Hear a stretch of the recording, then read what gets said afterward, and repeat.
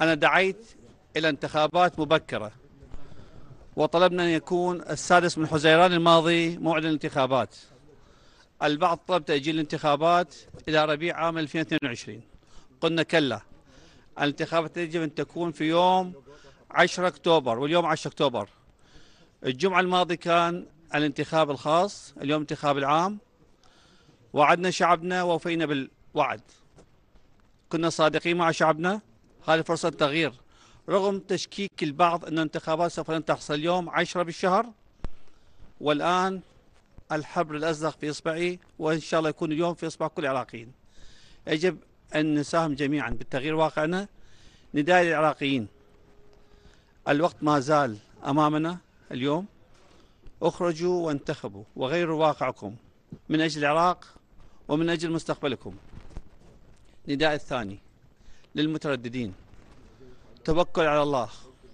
اذهبوا واختاروا من ترونه مناسبا لمستقبلكم لمستقبل العراقيين. هذه أول انتخابات منذ عام 2003 منذ عام 2003 تجري بعدم وجود حظر تجوال.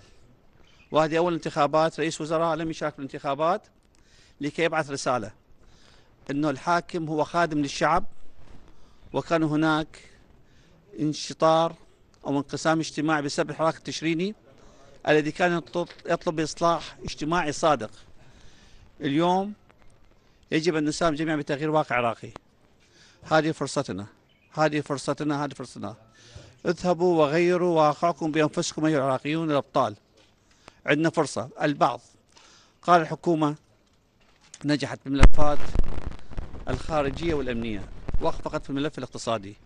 أقول الحكومة نجحت في الملفات الخارجية ونجحت في الملفات الأمنية وغدا.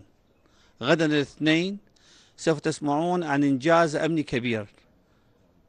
مرد نعلن عليه اليوم حتى نعطي فرصة للانتخابات أن تكون هي السيدة وهي الحافز العراقيين وقل الذين يقولون أن الحكومة فقط أخفقت في الملف الاقتصادي الحكومة في أقل من سنة نجحت أن توفر احتياطي 12 مليار دولار بوضع انهيار أسعار النفط بأزمة كورونا وفي دولة كانت شبه مفلسة. والحكومة نجحت بتقديم ورقة البيضاء للإصلاح وقلنا منذ اللحظة الأولى ورقة الإصلاح البيضاء تحتاج من ثلاث إلى خمس سنوات لكي يستنهض العراق. فرصتنا بالإصلاح بالانتقال العراق إلى مصاف الدول المتقدمة موجودة. نحتاج قيادة حكيمة ونحتاج شعب يختار العراقي الذي يفكر بمصلحة بلده. أتمنى كل توفيق رسالتي الأخيرة أخرجوا أخرجوا أخرجوا. شكرا.